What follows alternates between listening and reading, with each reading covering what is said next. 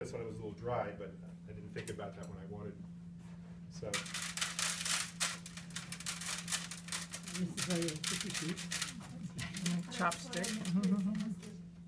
uh, this, but this has actually some soil, some dirt in it. Which I know we're not supposed to call it dirt, but I'm trying to make the point. This is why this is the greatest tool in the world. How does it get its nutrients?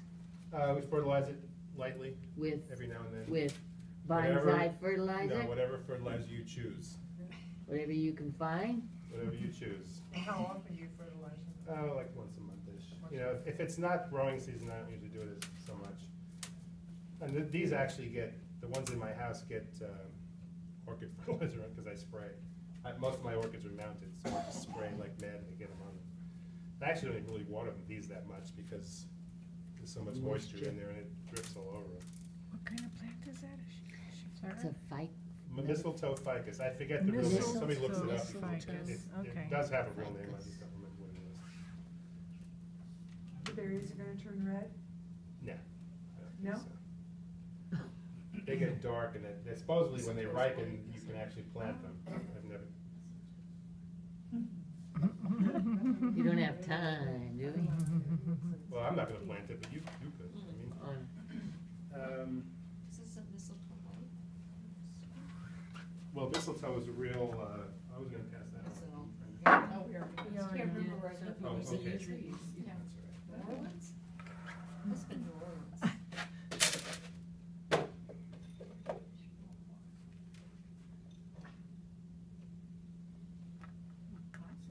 It's all right. Not phenomenal, I haven't really decided what I'm gonna do with the tree, but usually it's a good idea to decide what you're gonna do with the tree first, but. You decide with pot before you cut the roots off? Uh, yes and no. You know, it depends. I mean, sometimes I have a tree that I really want to do something specific with, and sometimes it's just a little tree that I'm putting in the soil to demonstrate. I don't really have any plan for this thing at all. Uh, I plan to make it a heck of a lot shorter, that's for sure. But- So we want to get some wire, we use aluminum wire.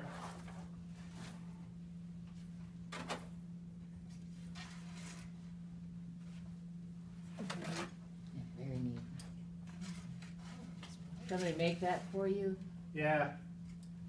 They were, he was gonna try to sell them to the bonsai club, but they were eighty-five dollars a piece, and only about four of us bought one, and he said, okay, forget it. Mm-hmm. So, I mean, it's a lot of work on that thing. The problem I have is that they've now made the wires smaller, so I can't get them around that thing anymore. So because we got rid of the tap root, we have to wire these plants in, So you're putting that up through the needle point stuff. yeah. Well, we, it does, it, I usually cut it before I, uh, it's cut it right out of the center. Uh-oh, they found out it was here. There holes chopping in Nichols bonsai tree. pots specifically for wires? Uh, some, So, but you're going through drainage holes or? I'm going through drainage holes.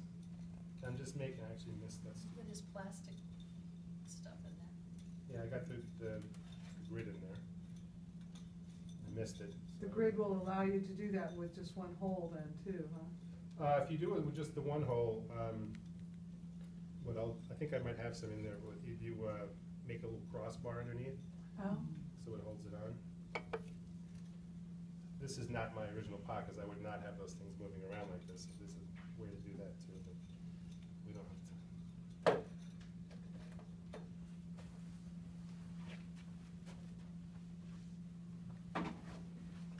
I'm gonna make a big, actually, I think I should tell you. On a square or oval, a rectangular oval pot, you never plant in the center. You always plant in one of the four quadrants. So you want the tree to come up here and then the weight of the uh, branches over the top of the pot. You wouldn't do it here and then go out, because then it looks like it's gonna fall, and it might actually really fall. If you had a round pot or a square pot, totally square, then you'd go in the center. And there's all kinds of formulas for, you know, the, the, the length of the pot should be two-thirds the height of the plant. The uh, depth of the pot should be what they call the nebari, the root spread. So we're not gonna go through all that. It is written out in here, at any rate.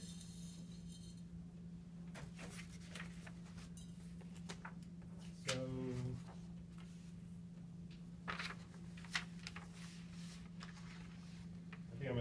here growing back on itself. So now I've got the roots, I wanna get the wires up through the roots so I can hold the root ball in place. If you can, you, you know, you choose on your front of your tree, which I haven't really done, which is like big sin, but you would put the wires, you would tie them behind, so that the front of your tree is, is nice, but I, you know, like I said, I haven't really taken the time on this one, so. Changing my mind this. This is very slapdash, usually this is a lot longer process, okay, just so you know. But you decided not So to you cut the didn't roots. cut any roots? Yeah. It's such a young, you know, it's, I've had this maybe three, four years, seven years out, I can't remember. But it's not really full, and it's got a big pot, so I'm just not gonna worry about it. Mm-hmm. I might, yeah, I could, I could, but I'm not going to at the moment.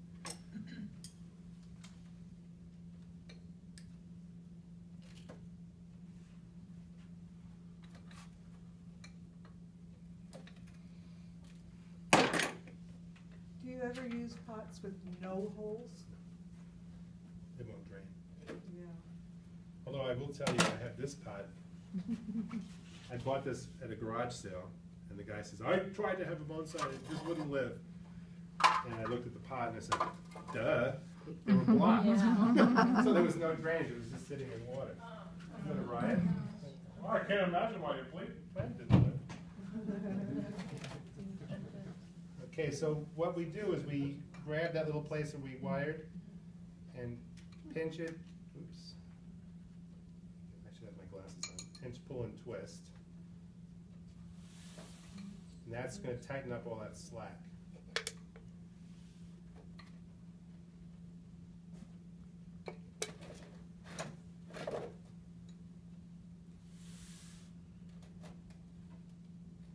Poor roots. Not at all. There's, there's all kinds of soil underneath, and I'm gonna make sure they're not full of air. This is the zen part of this, which makes some people crazy. So I'm just dragging the wire up and twisting it to bring it back, so that ah. it's in there now.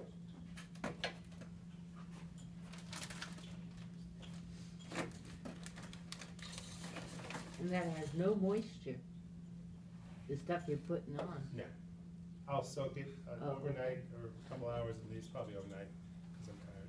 But I'll soak it for, um, up to the rim in the water. If you go over the rim, by the way, then all your wood bark floats away. so- So it looks like it's kind of full, right? But I'm gonna do this little twisty thing. And the soil will start working its way down around the roots. So there's not gonna be any big air pockets in won't dry out. And I'll end up probably putting in soil two or three times more.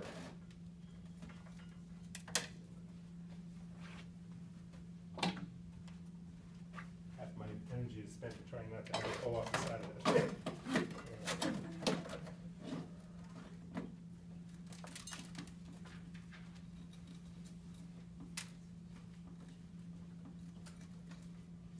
Would you repeat the ratio on the soil? It's, a good half of it is, uh, that traction gravel. And, um, the other half, four parts of that half are the seedling bark and one part is perlite. And I only do the perlite, it, I used to do more perlite, but it's so white, but it just makes it a little bit lighter. Yeah. See how far, how, and this is what, two or three minutes? I might do this for 25, 25, 30 minutes at home. But you're doing this, and it just gets down and down and down. And eventually you can tap it and it doesn't move anymore. And as you know, it's compacted. It's like that liquefaction from the earthquake, you know, the soil shakes and shakes and it moves. That's what I'm doing with the chopstick. Okay, because I'm making sure there's no, no place for it to go. It doesn't go down anymore, uh, anymore.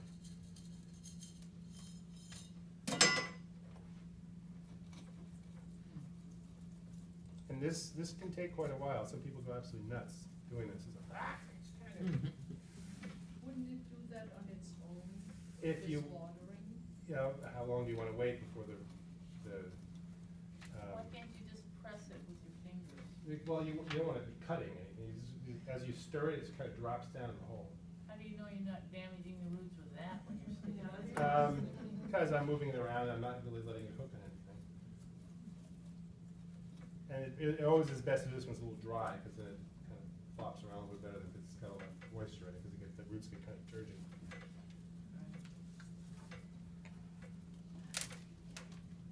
Plant, you know, all plants really wanna live, that's the big thing, is they, they will really go through an awful lot of junk that we do to them, and they'll still try to live. And we, we still manage to kill them, I'm not saying no, but you know, you're faced with the choice of having a happy life or a life at all, you usually go with a life at all. So being in a bonsai pot may not be what they do in Florida, but you know. Mm-hmm. All right, so that's not quite compacted enough, but it's more than it was. So the, the stool table that you're doing this on, is that a special bonsai? Of course. An extra hundred bucks just for that, just for That's that. what I'm. Yeah, it's, it's any sort of, turn- it's a turntable that raises up and down, it's kind of nice, it's good for this type of thing. Because if I was on a table, it'd be a little harder to flip it Oh, around. yeah, I understand the turntable, I just didn't. Yeah, it's, it's- it is a special bonsai turntable. you. It's a conversation piece. If you have Okay, There's a available, red-handled scissors somewhere. Right here there it is. with the, yeah. Thank you. Forever turning and rotating.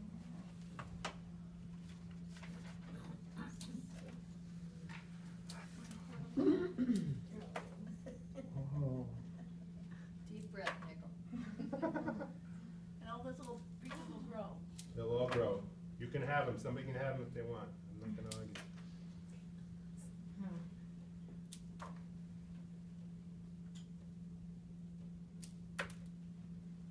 Now I'm gonna let that grow again. It looks a lot better just like that, doesn't it? I mean, Yeah, and remember that's- that. I thought it looked tough. better initially. Oh, Yeah. look at that. Yeah, little root, root hormone, Toss them over. Could I have one? I don't care. I was gonna like step back and people run towards the table. There's three, do all three of you want one? Okay, one extra one. I know, I know one person who's gonna have to have one. For the I'm gonna sacrifice. share it with Barbara. One, two, three, four, five more.